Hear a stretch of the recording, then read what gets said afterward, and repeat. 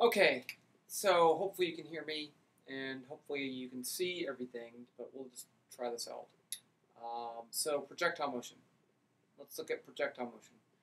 In projectile motion, the key thing is we define projectile motion to be um, an object moving only under the influence of gravity.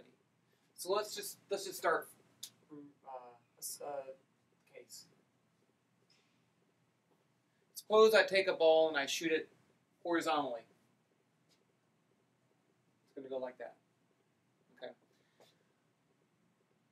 While it's in its path right here, what forces are acting on it? Don't say it. Don't say the force from the, the cannon that shot it. No, it's not. It's not acting on it anymore. The only force acting on it is gravity, which is straight down. I'll write that as mg. Can you see that okay? Let's see. That's a little small. Well, we'll, just try it out. Okay. So, from that, we can write down Newton's second law or the momentum principle, however you want to call it. I'll write that as F net equals ma. Let me write that. That's a vector.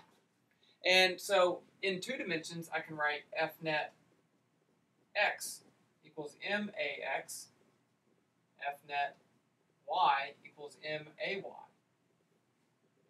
So the only force is in the y direction. There's no force in the x direction. So th- this equation says F net in the x direction is zero. So that's zero. So ax equals zero. So in the x direction,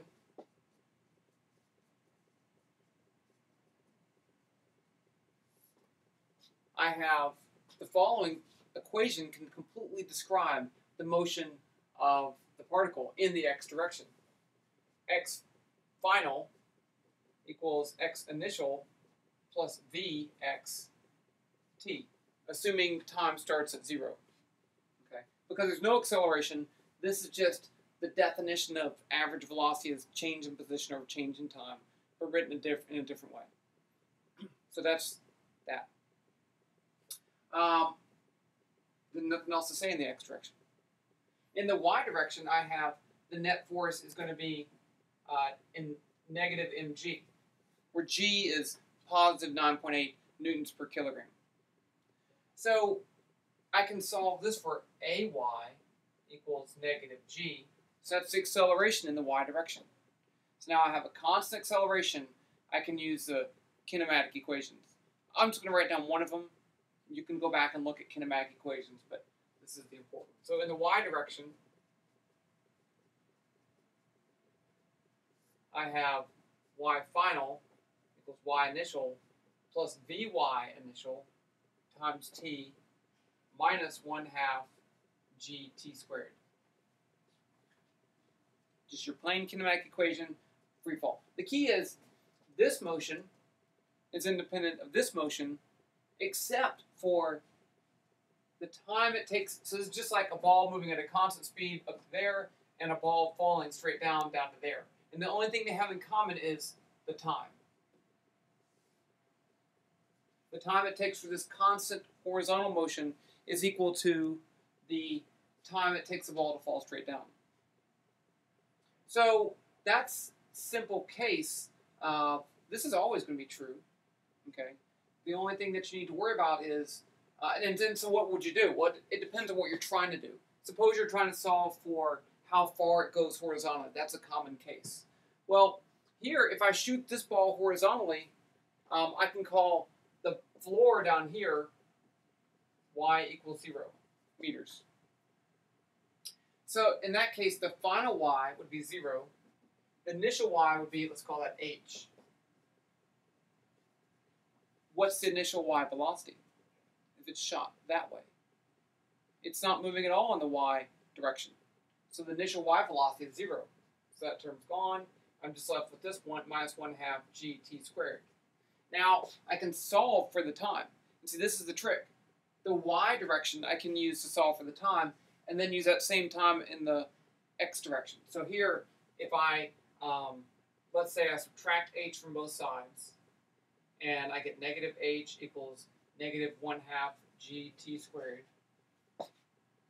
and then I can divide both sides by negative g over 2, and I get t squared equals 2h over g. t equals the square root of 2h over g. That's a whole thing. Okay? And then I can, if I want to find out how far it went, and if I know the initial velocity, in this case, the initial velocity is all in the x direction. So I can solve for, let's say it starts at x equals 0, x final is just going to be vx, which is the launch velocity, times t, which is this.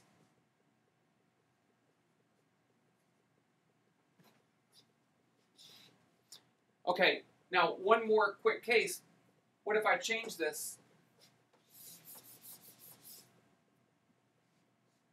so that I launch it at an angle?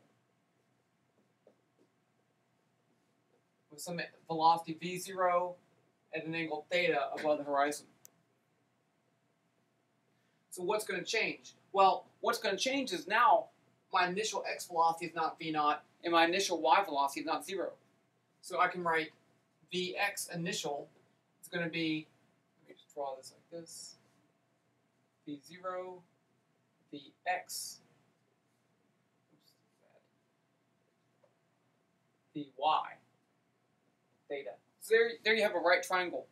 So using your normal trig rules, Vx is going to be V0 cosine theta. Vy 0, which is just initial velocity, is going to be V0 sine theta. And then over here, I could do, if I want to find out how far it went, now this would not be 0. My initial y velocity is that value. So this would change, and it'd be a little bit more difficult to solve.